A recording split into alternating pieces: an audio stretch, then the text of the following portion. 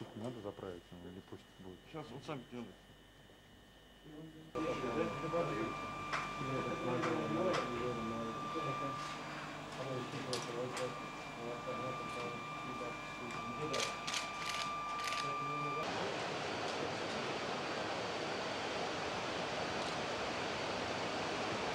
The Soyuz rocket was fueled about three hours prior to launch before the crew arrived.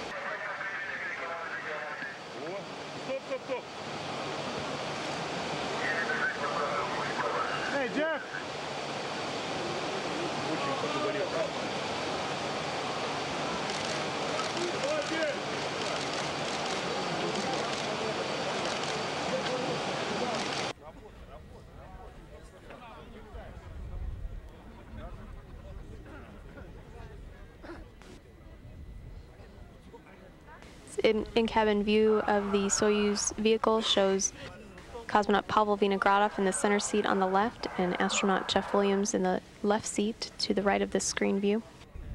T minus eight, seven, six, five, four, three, two, one. Liftoff. Liftoff of the Soyuz rocket transporting Jeff Williams, Pavel Vinogradov, and Marcos Pontes to their microgravity home in space.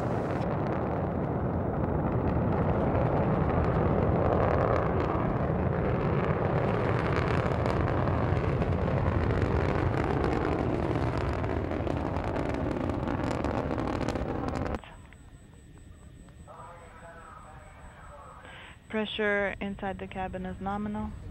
190. All the parameters Brazilian astronaut Marcos Pontes in this view. The first stage of the Soyuz measures 68 feet in length, 24 feet in diameter as it burns for the first two minutes and six seconds of flight.